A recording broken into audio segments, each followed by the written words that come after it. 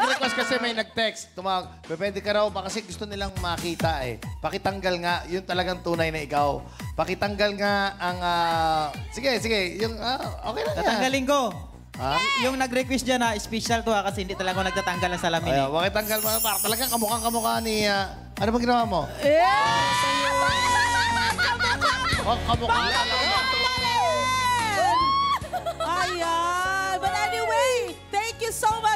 Freshie. Pero kumakanta ka rin. Kumakanta, kumakanta. Magbigay ka nga, kapela lang.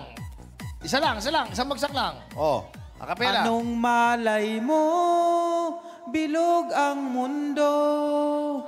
Baka bukas, magkasama tayo sa muling pag-ikot ng ating mundo. Anong malay mo?